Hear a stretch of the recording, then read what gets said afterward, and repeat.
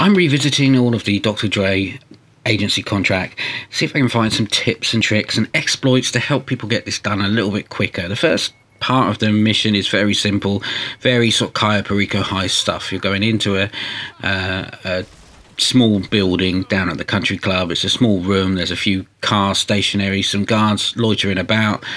Take them out, get to the laptop, hack into it, and then that will send you to a second location. So very much like your Cayo Perico setups. Um, when you do hack into the laptop, you'll be told to go and track down a, a Patriot Stretch limo. And this is a white limo, and there can be in three locations. But essentially, you just need to tail it. So stay away from it. I'm using the helicopter that comes free with your agency, but you can use your own helicopter, your buzzard. Anything is available for you to call in during this mission. You're going to tail it to the billionaire's Playboy mansion, and here it is. This is where you'll go to retrieve the second of Dre's copied phones. But before you get there, you're going to need a way into that party.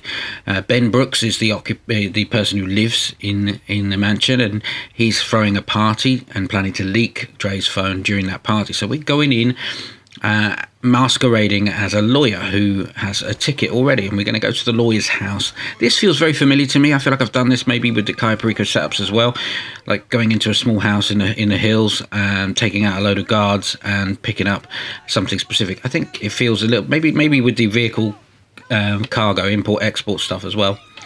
Take out all the guards, and the lawyer is standing just above these stairs here. Just be aware as you're going around. There are a couple of very heavily armored guards very close to your target and then you're going to use the new stun gun.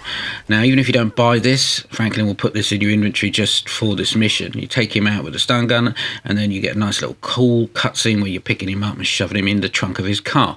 We're going to take his car because that's going to help you get in again infiltrate uh, the party. Once you get the in the car you'll be pursued immediately. I tend to jump off this little stunt jump here and head back to my agency, which is just down um, down the road from Vinewood. Once you're back at the agency, it's time to go into a lobby. Now, all of the finales, you do these in a in a lobby. You can find someone else to do it with, or you can do them solo. But that's how these work. Once you're in the car and the mission is launched, you just drive to the the mansion. You're going to use a security code to get in. You don't need to do anything, just sit in the car and then head round and park the car somewhere close to where the other cars are. And you'll need you'll need that handy because you're going to set off a detonator bomb in there. There's a DJ playing some music, but as soon as you approach his decks, Imani and Franklin get onto the blower, and they will tell you that there's no one actually. The music is being streamed from inside, and it's just it's just a hoax. So uh, Dr. Dre comes on and tells you that he wants you to trash the party. So you then head up the stairs, climb over this wall. That just gives you a bit of cover, and then you can climb onto the roof here. This will give you your premium position for taking out and doing the most damage. Now, this is one of those missions where you've got to just do enough damage to all of the cars, and there's plenty of um, supercars parked around on either left or right. But do be careful of the guards that are moving about and they will take you out. If you do die, you will end up back around the front of the property and you can come back and climb up here. Essentially, keep taking out as much as many of the cars and, and all the guards that you can until that intimidation bar reaches its max. There's also a buzzard, just one that comes, and that is probably the thing that will will kill you uh, out of all of the uh, pursuers.